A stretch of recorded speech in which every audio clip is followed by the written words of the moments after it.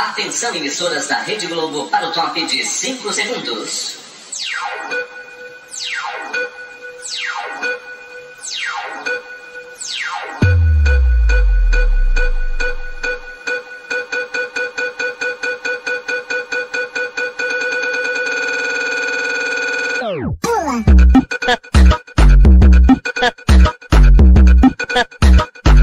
Esse.